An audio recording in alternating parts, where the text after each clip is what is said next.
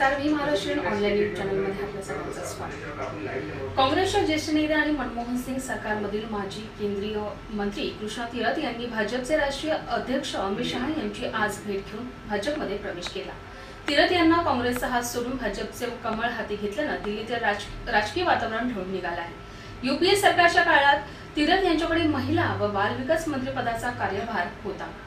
मला जनतेसाठी काम करायचं आहे. भाजपमध्ये मला कोणती जबाबदारी द्यायची याबाबतचा निर्णय अमित शहा घेतील असं त्यांनी सांगितलं. दरम्यान तीरथ यांना दिल्ली विधानसभा निवडणुकीत भाजपच्या तिकिटावर निवडणूक रिंगणात उतरवण्यात येणार असल्याची माहिती सूत्रांकडून मिळाली आहे.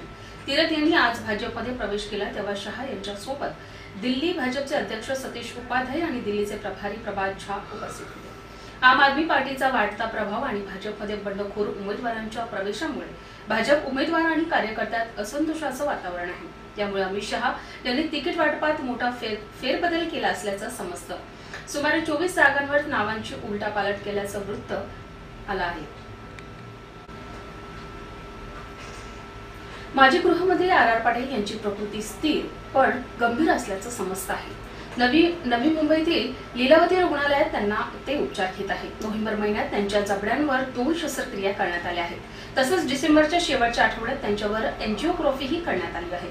राष्ट्रवादीचे काँग्रेसचे अध्यक्ष शरद पवार खासदार सुप्रिया सुळे यांनी पाटील यांच्या प्रकृतीची विचारपूस करण्यासाठी रविवारी लीलावती जा- लीलावतीत जाऊन कुटुंबियांची भेट घेतली आहे. दरम्यान आबांच्या प्रकृतीवरून मागील काही दिवसांपासून अफवा पसरल्या जात असून त्यात कोणतंही तथ्य नसल्याचं त्यांची कन्या स्मिता पाटील यांनी शनिवारी माहिती दिली.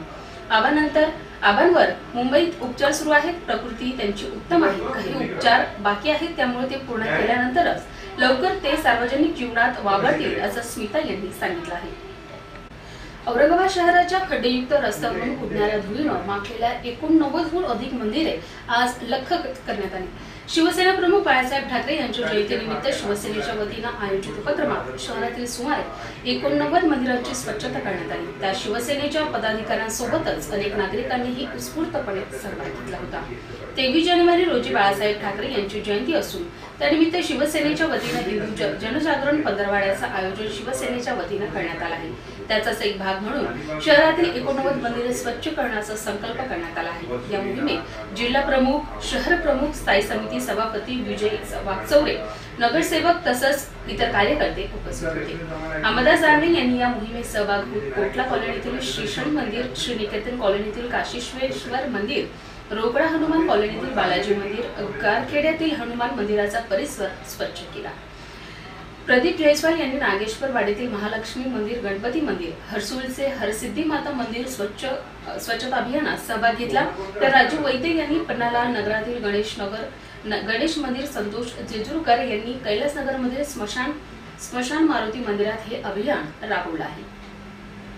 क्लासमेट या चित्रपटात प्रत्येक कलावंतांची एंट्री आणि अभिनय दमदार झाला आहे. दाद मिळवणारे अंकुश सई सचित आणि सिद्धार्थ चित्रपटाशी एकदम एकरूप झालेले वाटतात. तर सुंदर सोनले चित्रपटाला थोडं रहस्यमय करते. आदित्य सरपोतदार या युवा पिढीच्या दिग्दर्शना दिग्दर्शनानं मराठीतील तरुणाला आकर्षित करणारा चित्रपट दिला आहे. एका कॉलेजात शिकणारा अप्पू उर्फ अपर्णा सत्या रोहित उर्फ स्विमर अनिरुद्ध उर्फ आणि आणि आदिती यांच्या भोवती फिरणारं हे कथानक आहे.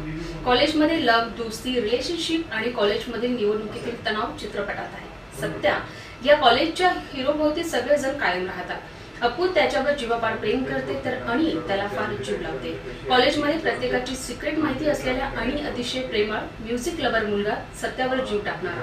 रोहनचे वडील राजकारणी रोहनला मात्र स्विमिंगमध्ये करिअर करायचं असतं. अशा वेळी एक घटना घडते जिच्यामुळे रोहन राजकारणात येतो. मग कॉलेजच्या निवडणुकीत खतरनाक राजकारण करत अदितीला विजयी करतो. आदिती आणि सत्याचा एकमेकांवर जीवा पडते. या निवडणुकीत विरून जातं. यातून एका मित्राचा मृत्यू होतो. पुढे हा मृत्यू सर्वांचं आयुष्य अंतर्बाह्य करतो. आतापर्यंत राज राजश्री आणि आत्मासारख्या हॉरर सिनेमातून प्रेक्षकांचं मनोरंजन करणारे बिपाशा पुन्हा एकदा हॉरर सिनेमातून प्रेक्षकांच्या भेटीस आली आहे सिनेमाचा दिग्दर्शक भूषण पटेल असून एकोणीस नाईन्टीन ट्वेंटी एव्हल रिटर्न्स आणि Ragini M M S two नंतर त्याला हा तिसरा हॉरर सिनेमा आहे. सिनेमात मुख्य भूमिकेत बिपाशा शिवाय टीव्ही अभिनेता करण सिंग ग्रोवर आहे. त्यानं या सिनेमातून बॉलिवूडमध्ये एंट्री केली आहे. सिनेमाची कहाणी दोन जुळ्या बहिणींची आहे संजना आणि पूजन दोघी संयमी जुळे असतात. दोघांचा एकमेकींमध्ये खूप जीव असतो. परंतु कबीर जेव्हा त्यांच्या आयुष्यात येतो तेव्हा दोघींमध्ये तिरस्कार निर्माण कबीरवर संजना आणि अंजना दोघींना प्रेम होतं परंतु कबीरला फक्त संजना आवडते. हे पाहून अंजनाला हेवा वाटतो. कबीर संजना सोबत परदेशात जाण्याचा निर्णय घेतो मात्र अंजना त्याला असं करू देत नाही. अखेर संजना वेगळे होण्याचा निर्णय घेते. परंतु शस्त्रक्रियेदरम्यान अंजना संजनाला मारून टाकते आणि स्वतः संजना म्हणून कबीर सोबत परदेशात जाते. जेव्हा कबीर आणि संजना भारतात येतात तेव्हा कहाणीला वेगळं वळण येतं. अंजना म्हणजे संजना ज्या कोलीला खोलीला बंद करून ठेवण्यात आलं आणि तिच्या सर्व आठवणी त्या खोलीत जपून ठेवण्यात आल्या हे त्यांना समजतं. कबीर हे पाहून वाईट वाटतं आणि तो त्या खोलीला उघडण्यास सांगतो. खोली उघडल्यानंतर अंजनाचा आत्मा सुद्धा भटकायला लागतो. ही आत्मा अनेकदा कबीरला सत्य सांगण्याचा प्रयत्न करते मात्र ती अपयशी ठरते. अंजनाची आत्मा बदला घेऊ शकेल का? कबीर सोबत राहणारी तरुणी खरंच अंजना आहे का? या सर्वांचा प्रश्न या सर्व प्रश्नांचं उत्तर जाणून घेण्यासाठी तुम्हाला थिएटरमध्ये जावं लागेल. आपल्या काही सूचना अथवा समस्या असल्यास मला या पत्त्यावर संपर्क साधावा. आमचा पत्ता B twenty four Mahavir market sector अठरा वाशी नवी मुंबई. उद्या पुन्हा भेटू. विशेष घडामोडी तोपर्यंत धन्यवाद.